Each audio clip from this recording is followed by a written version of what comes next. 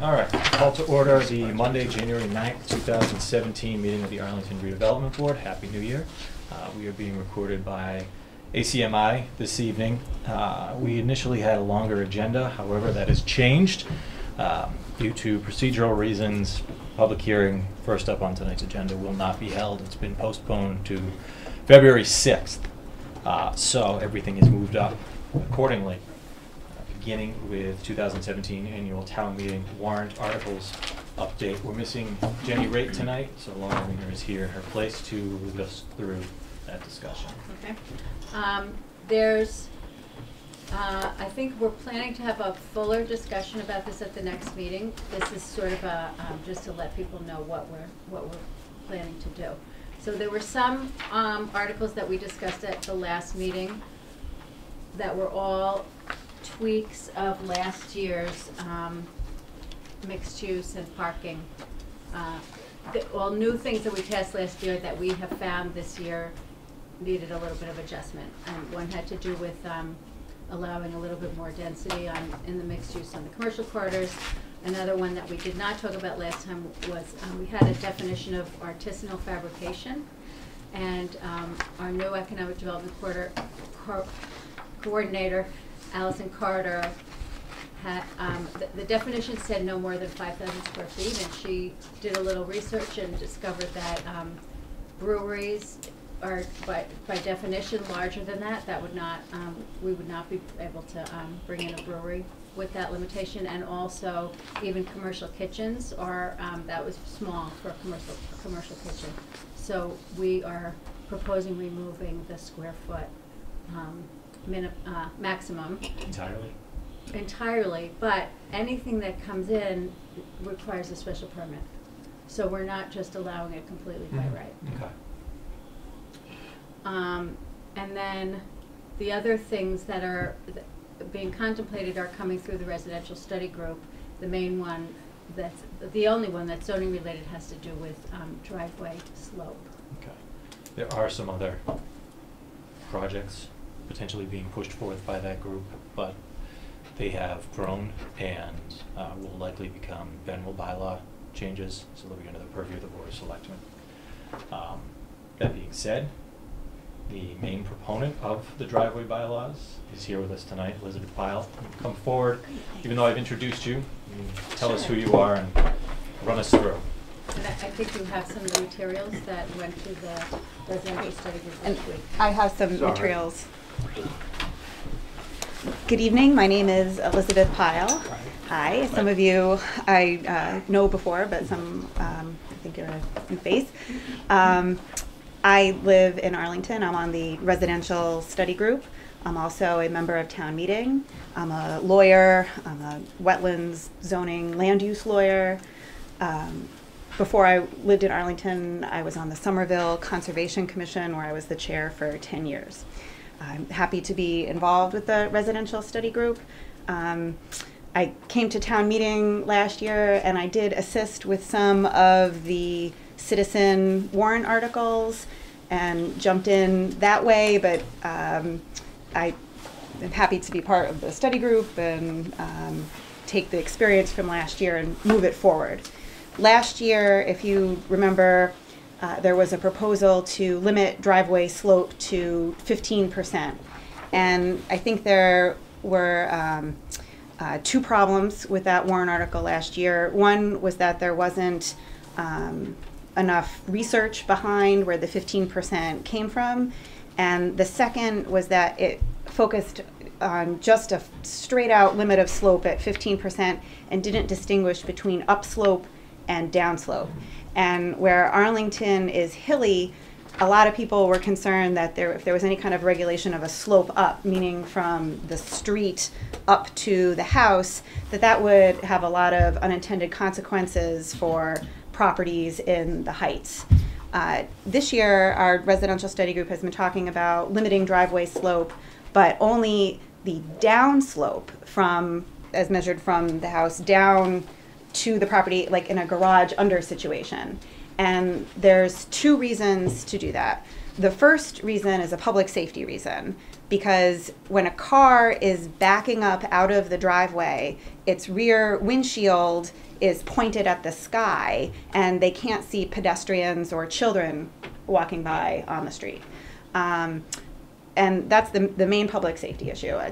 Another public safety issue, though, is that driveways that are too steep like that are um, too difficult for cars to get out of in the icy winter. So people are not parking in the driveway, uh, in the garage, and backing up out of the icy driveway. They're parking on the sidewalk apron. Um, and then pedestrians that are walking by have to can't get through because the car's blocking the sidewalk and they have to go out into the street and, and walk into the street in the snow. So that's a, another reason. Um, I did some research from surrounding communities and also um, on uh, guidelines for what an appropriate driveway slope should be. And the certainly the, the consensus is that you don't want a driveway at any more than a 15% slope. And I have a, a handout for you. Um, I think we have that. do you have this? I Yeah. did add something new to it. I found an additional uh, town, which is Belmont, that limits it. And I also included that what the Arlington Town Engineer said as well, so I kind of improved it over what you had before, but it's basically the same information. So, if you look, um, there's, these are towns, uh, that in many instances responded to an inquiry that Laura put out about do you regulate driveway slope? And then I also found some that didn't respond, like Belmont. Um, and then we have these uh, guidelines. The town engineering department said 5 to 15% would be appropriate. Um, the Massachusetts Department of Transportation basic driveway dimension guidelines at the bottom of the table says the maximum grade for residential driveways should be 10% to 15%. The National Highway Institute says even less, 6 to 8%. Um, town engineering, 5 to 15. And then if you've read this memo, I, um, I won't repeat it, but safe, efficient driveway design says that um, it's important to limit driveway slope. Um, the maximum practical change in grade is about 12%. Uh, be above that, many vehicles will scrape out, um, eh, but it's also safer to use a smaller grade rather than a bigger grade. Um, neighborhood street design guidelines from 2003 said that says that um, driveway grades exceeding 15% should be avoided. So I think that there's consensus in the literature from an engineering and public safety perspective that you want to cap out at 15%.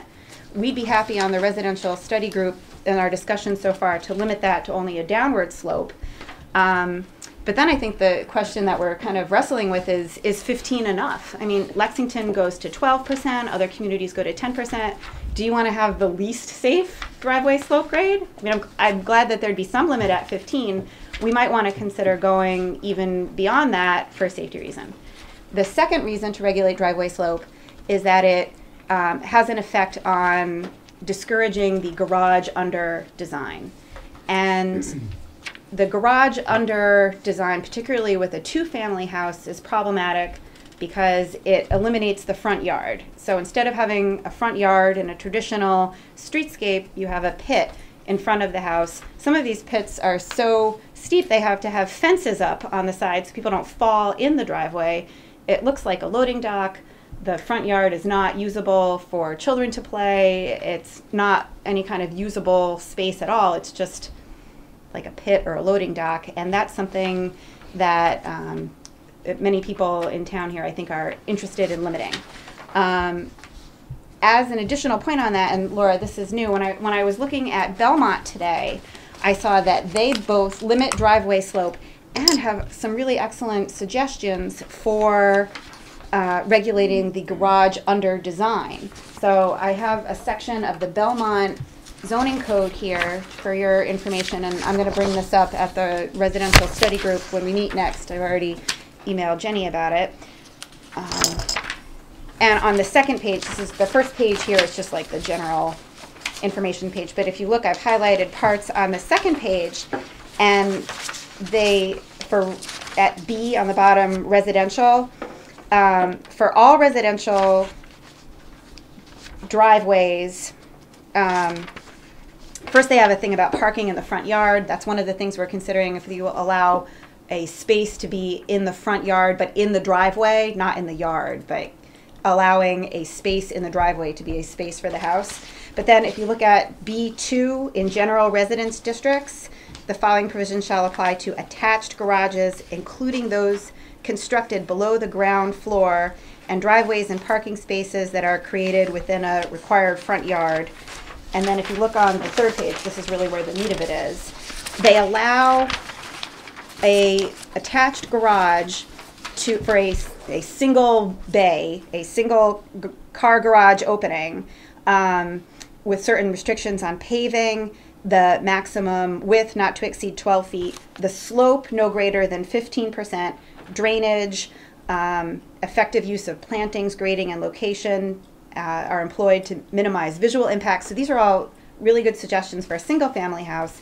But then this B discusses two family houses and parking spaces for two car garage openings or larger below the ground floor shall not be permitted except by special permit. And that would really go a long way towards solving the problem. And the criteria for the special permit, I think, are something that we could really use here in Arlington. Um, one, feasible alternatives for providing necessary parking do not exist. Two, there's effective use of plantings, grading, and location are, are employed to minimize visual impacts of the paved front yard and or garage, which is something that we're struggling with here. Three, and this is very important, the garage does not create the appearance of an additional story, which would then give an overall appearance of the structure exceeding the two and a half story limitation. And that is something that people really feel when you have the double garage in front of the house. The house has the impression of having an additional story because you have all this carved out space underneath. So I thought that was important. The slope is no greater than 15. Um, the paved area is only as wide as the garage and tapers where possible. Uh, six would probably have to be modified toward Arlington because it talks about a separation between the driveways, and we only allow one driveway as of right. Um, seven is on-site drainage. So this is something that I'm going to bring up to the residential study group, but I wanted to just give you some information about it tonight. I just found it today. Um, but that would be a way of maybe regulating uh, garage unders and driveway slope all together if we had kind of a similar bylaw. And there does seem to be um, some consensus that regulation of driveway slope is a good idea. We've been struggling with how to deal with the garage under aspect because, as you know from your information here, if you make the driveway slope 10%, then you're going to have a very large front yard setback, and that might be desire, un- undesirable um, because the house is too far back from the road. So this might be a way, if you can have both of these provisions together, limiting the slope and putting some special permit requirement on a, a two-family garage under, that might go uh, a way toward solving the problem.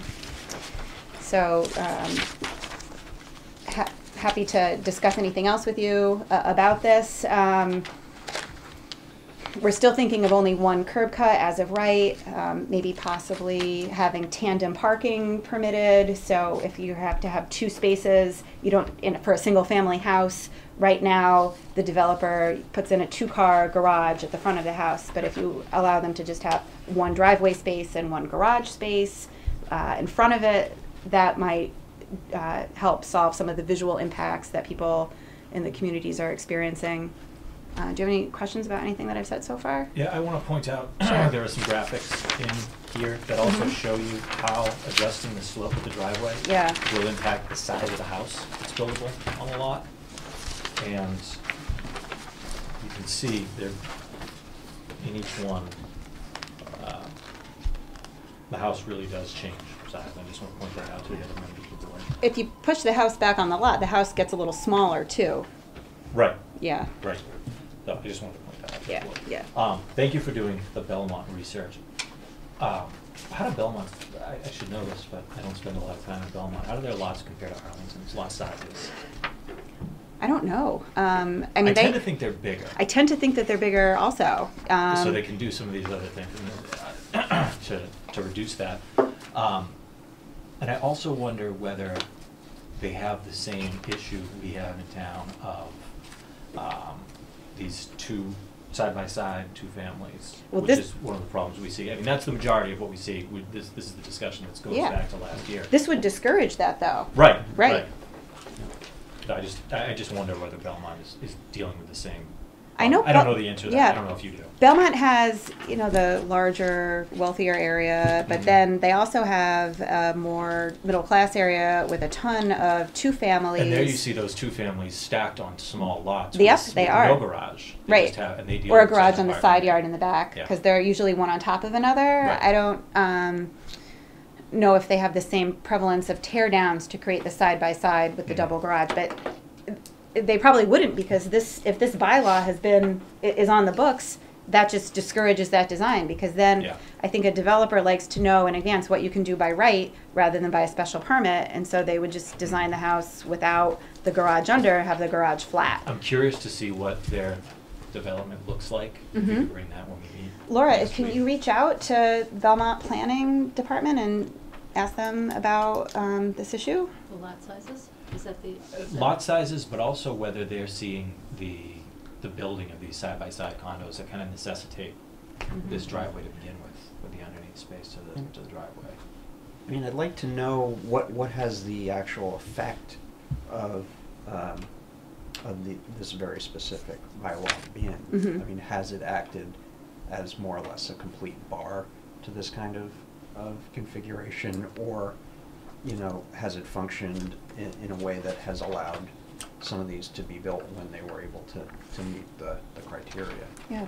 Well, I, I recently did, I was at a meeting where the um, Belmont planner was talking about some of their zoning changes, and I think they made a lot of changes to their zoning to make them more restrict, make it more restrictive and to have a, um, review process for almost everything that gets built.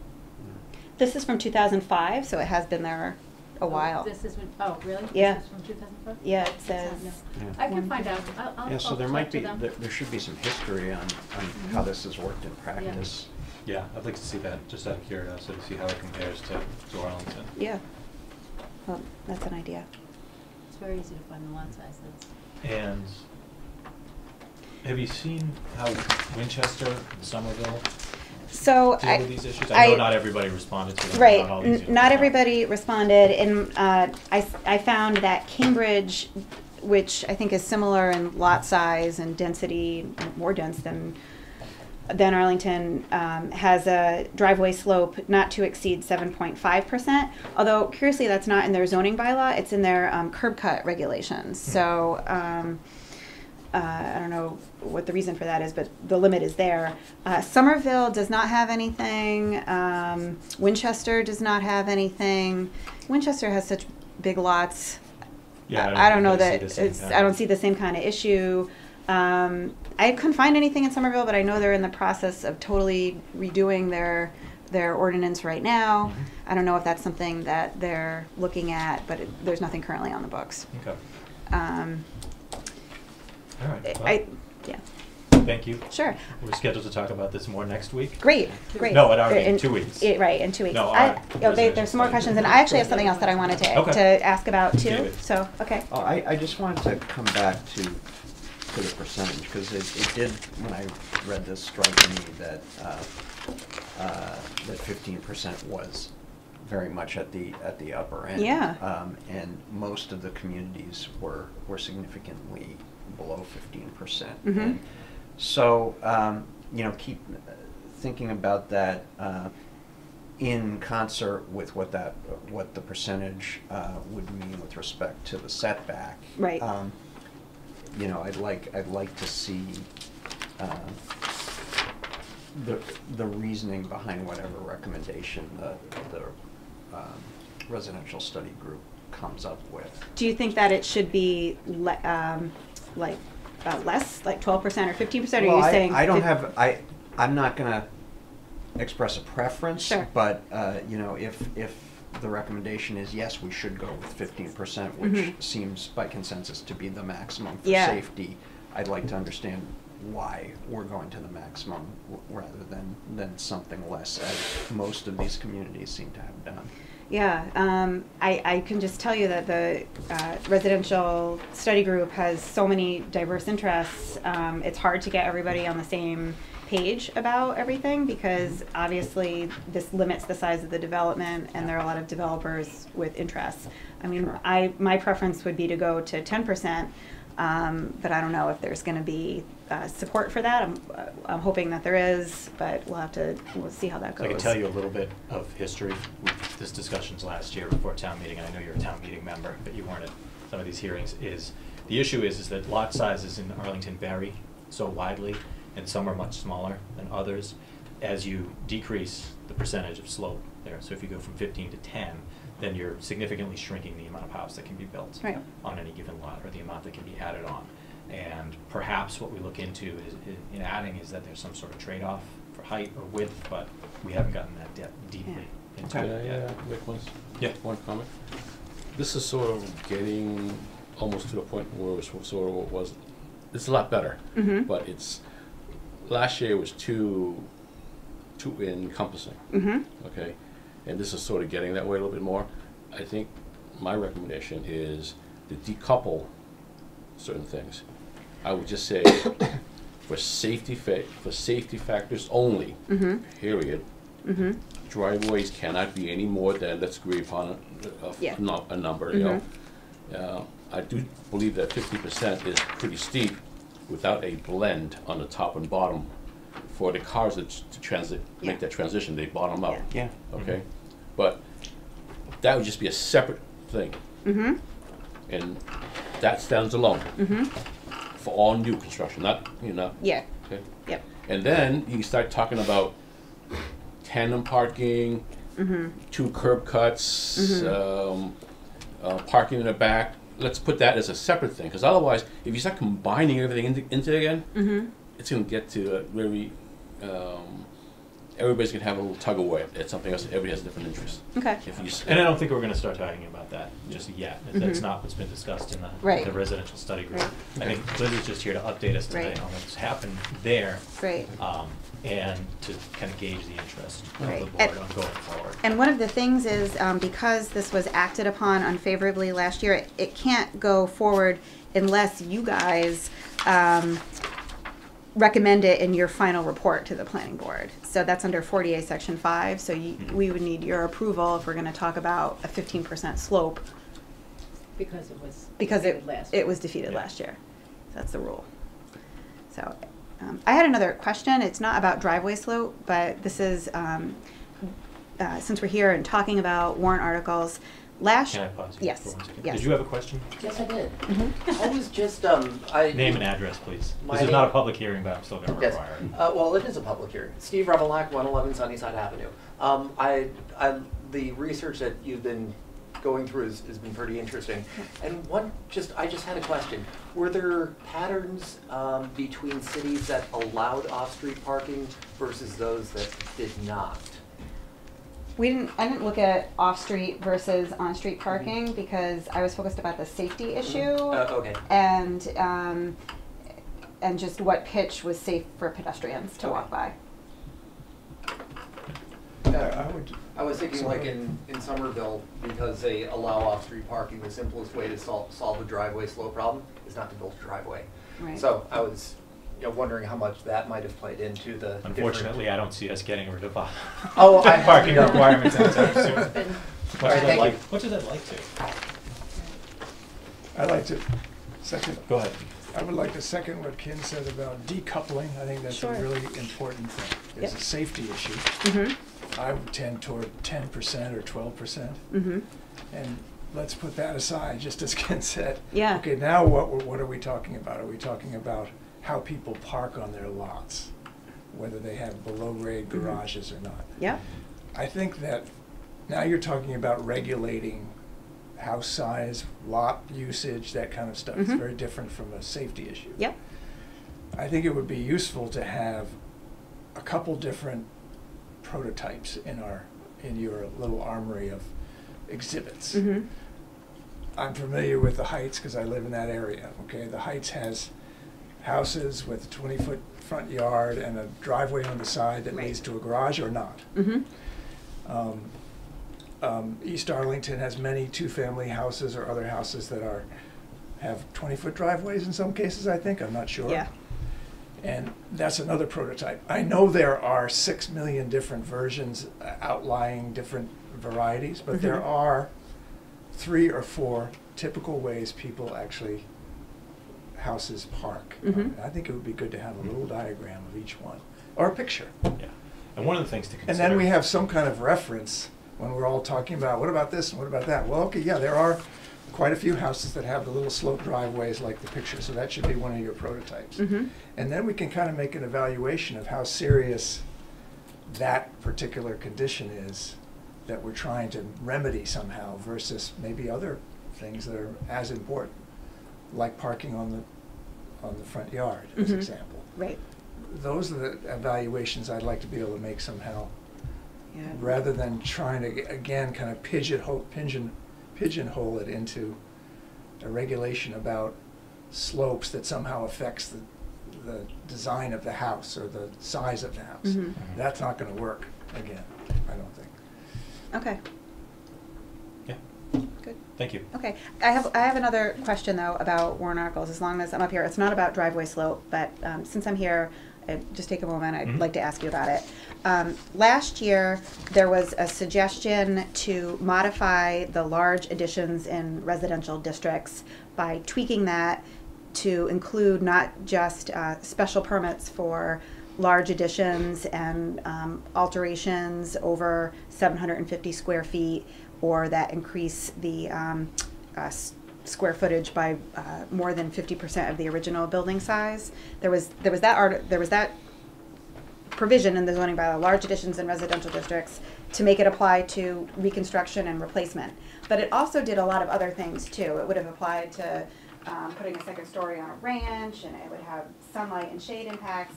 And I think it tried to do too much, that citizen article. And my question for you, and I, I have, um, if this is the language of large additions in residential districts with just uh, a suggested replacement of adding reconstruction or replacement, so it would require a special permit for tear down rebuild. So me just show you, just one simple change in the language. And because the other measure was defeated last year, um, this, something like this couldn't go forward unless it was in the final recommendation of the, of the ARB. And I didn't know uh, uh, how you all felt about this kind of thing, and I um, talked to Jenny about it, and she said, well, we, in order for something like this to be considered, you would have to be receptive to it as the planning agency.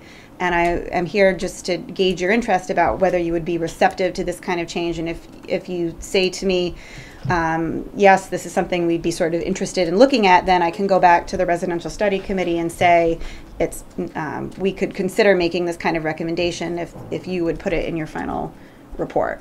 Um, it's just so within the scope of what was defeated last year. Um, and my own experience is I think the one last year tried to do too much. This is an issue of parity because right now, if you are um, putting on an alteration or an addition to your house, you need, and if it's above a certain size threshold, there's a review process. You, you need to get a special permit. Um, the neighborhood is notified. There's opportunity for comment. But if somebody's going to tear down the house and rebuild it, even if the larger structure meets the same size thresholds, they can just do it uh, as of right without a special permit. And I didn't know how you felt about that. So I'm not comfortable having a discussion on this without it going through the residential study group. Right, I would want to do that. So um, until that, until we have that conversation there, I think it's premature to Okay. bring it here. I- So let's talk about it at that meeting next right. week. I didn't want to bring it there if you guys said it's a lost cause here. Let's see what that board says about it before they come up. The Okay. committee says, before it comes up here. All right. Board committee group, Okay. that- so, but we'll talk, we'll, we'll discuss everything. Okay, the good. time All comes. right. Thank you. Figured as long as I was here, I would ask. That's But fine. thanks very much for your Thank you. time this All right, evening. thank you. Okay. For coming. Laura, is there anything else that we can expect to come up? Have you heard from citizens Oh, groups? um, Anything? no, we haven't. Have you? Nope, no. I don't Oh, there's so. the, um, it, well, the, the, uh, Good Neighbor Construction Agreement might have some aspects. Yeah, we've talked, we've actually zoning. talked about It's that. gon- not gonna, But that's I not zoning. think that's not going to come under zoning, that's going, that, that was what I referenced at the beginning of this Yeah. session. I think that's gonna end up with the selectmen and possibly the The whole thing. Board of Health. Okay. Everybody but us, Okay. even though it's one of our subcommittees. Right. Deciding on it, so. Mhm. What it is, is uh, essentially a construction agreement to be filed by the homeowner or the contractor who's developing some property. Um, And it ties in some of the bylaws to, to hold the person actually doing the construction a little bit more accountable than things that have been done. And it's actually in response to the warrant article that was filed at Fall Town Meeting, which was filed in response to the Irving Street issue Mhm. from last year. And what this does is it tries to accomplish uh, a more fair and equitable uh, dialogue between homeowners and neighbors, so that the construction process is a little bit more well-managed, people know what to expect, and the people actually doing the work have some accountability. So, and it also directs people, should hopefully direct people to the appropriate town authority and enforcement agency, if need be. So, Um, have there, has there been any discussion of making any needed minor technical corrections in the zoning bylaw, uh, in, in Springtown meeting versus waiting for the zoning recodification process to, to, to get through that? Well, um, I don't know if you'd call the changes to the mixed use that we're talking about, um, technical changes. Other than that, that, w- nothing has come to us, through us. I Like the, would- with like the- the ceiling height being changed from seven foot. No, seven no, feet no, to no, seven no, foot no. for I, you. I, Thought that is I, technical I'm, change. I'm thinking more, uh, uh, more things like, uh, the, uh, the mismatch in like the parking reduction section between the, the title and, and. Oh, the R seven, adding Yeah. R seven, yes, we, we are looking at doing that also.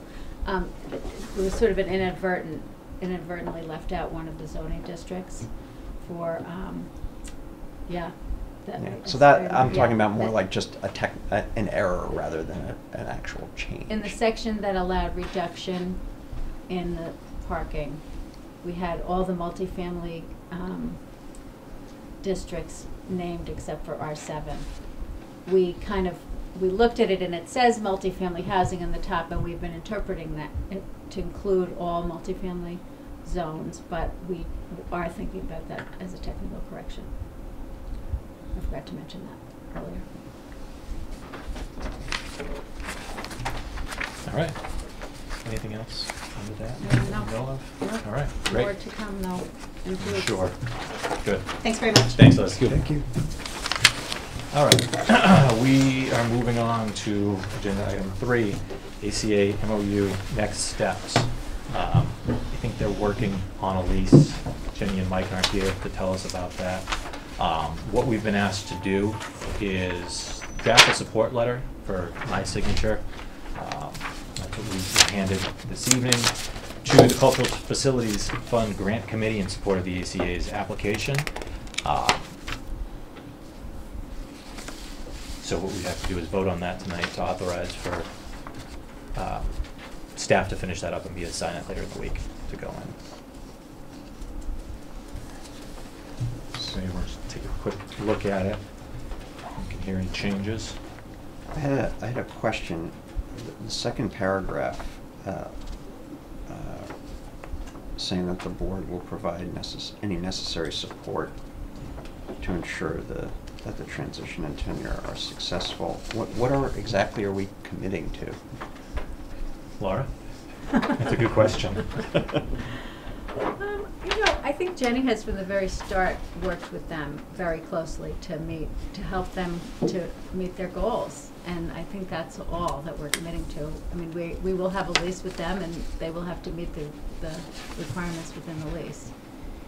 And I'm sure their lease will look a lot like all the other leases at the central school.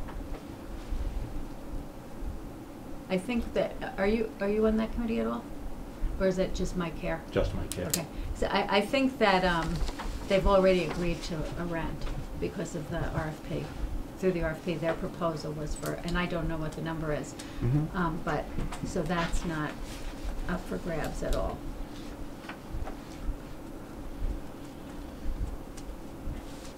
Yeah, I think.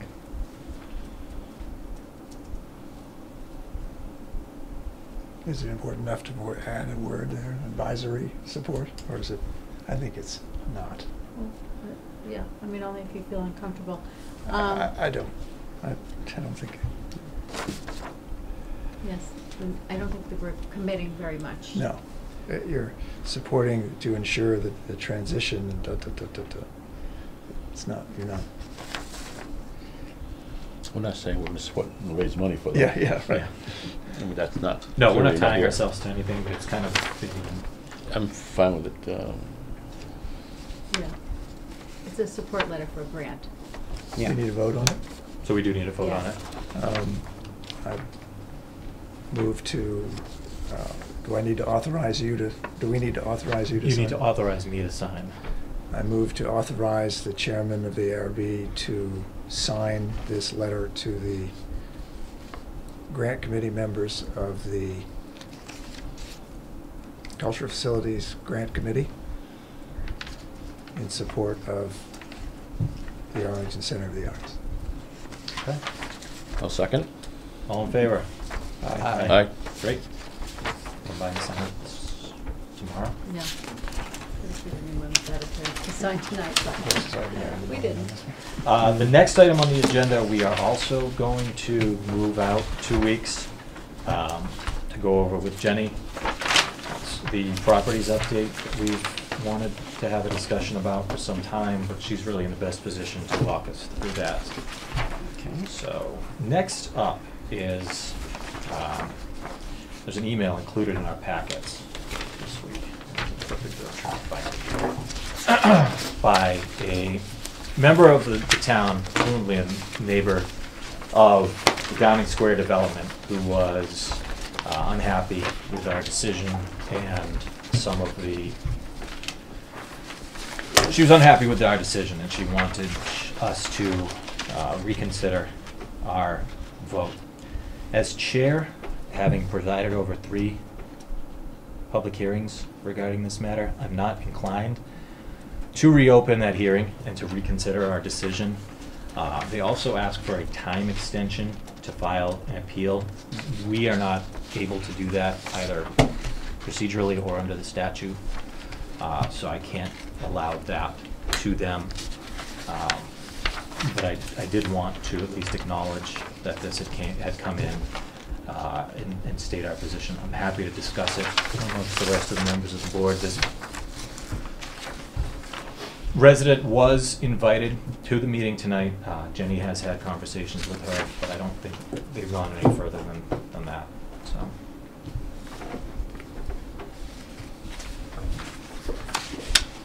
I think our, I think our process was fair and open. We allowed for public discussion, comment on several separate occasions.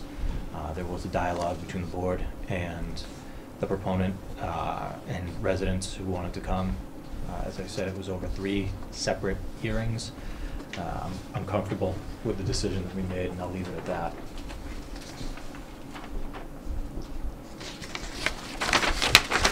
So is there anything we have to do here, or? No, No. no. Okay. All right, and we do not have minutes for Right. December nineteenth. Amy was sick last week, so she did not finish them. I apologize and congratulate everybody for the brief meeting this evening. That's okay. Anybody has any questions? I didn't want to cancel it outright with such short notice, but uh, sometimes that's the way things go. I'll motion to adjourn? Second? All in favor? Aye.